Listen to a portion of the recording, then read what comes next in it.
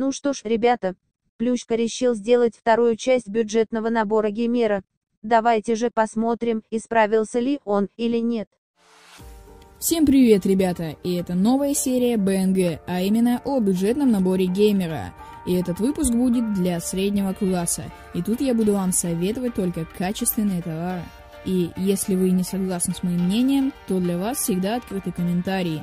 И чего же мы ждем? Поехали!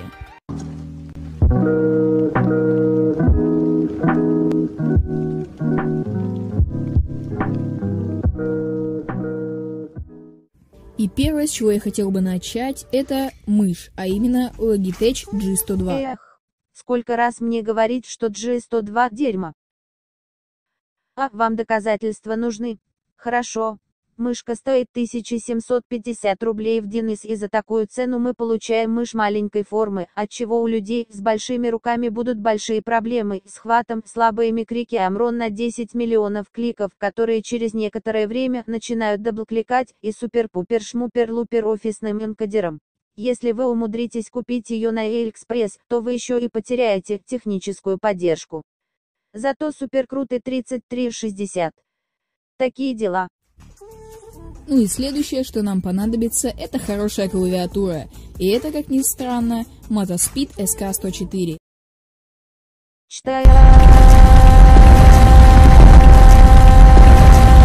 Ты серьезно взял самую худшую клавиатуру на рынке механики. Если и здесь вы хотите понять, почему такое будет дерьмом, поясняю. Переключатели здесь стоят от Automio со всего лишь 5 миллионами кликов, после они либо даблкликают, либо полностью ломаются. Кейкопы будут в полмиллиметра, и подобные изделия при небрежном обращении легко могут раздвоиться. А про стабилизаторы вообще молчу. Они просто скрипят. За такую можно взять какой-нибудь Hex Gears. Так, ну с клавиатурой и мышкой мы уже определились, но под это все добро нам нужно еще и коврик, и он тоже будет с RGB подсветкой. И возьмем мы его очень недорого, ведь на Алиэкспрессе с 27 марта стартует распродажа, где вы можете все урвать по очень низким ценам.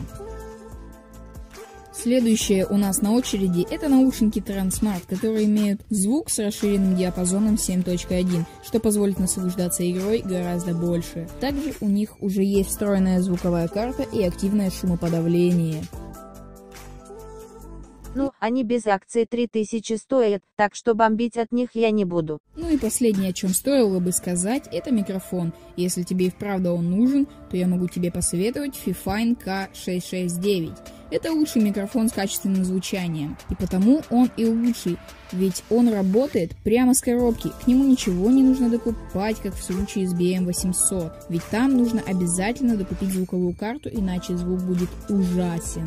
Знаешь, микрофон с USB подключением не лучшее решение.